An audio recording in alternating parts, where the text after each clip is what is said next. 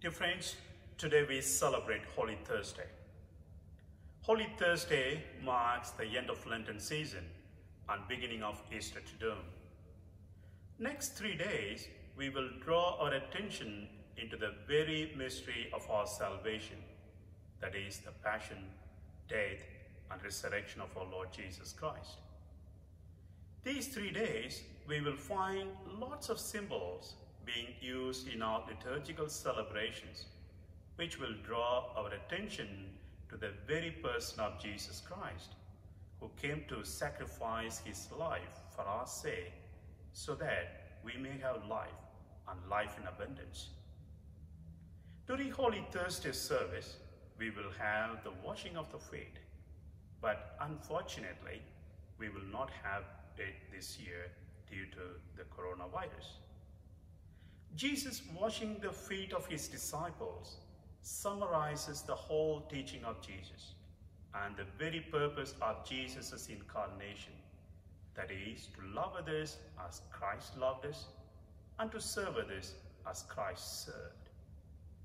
Also on that night, when Jesus had his last supper with his disciples, Jesus took the bread and wine and gave a blessing and said, this in memory of me. And thus gave us the wonderful gift of Eucharist to us and also instituted the sacrament of priesthood.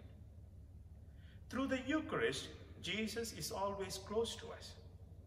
During these days of isolation, every priest could feel with you how you all really miss this life-giving food of the Eucharist, which indeed nourishes us and gives his life to the fullest.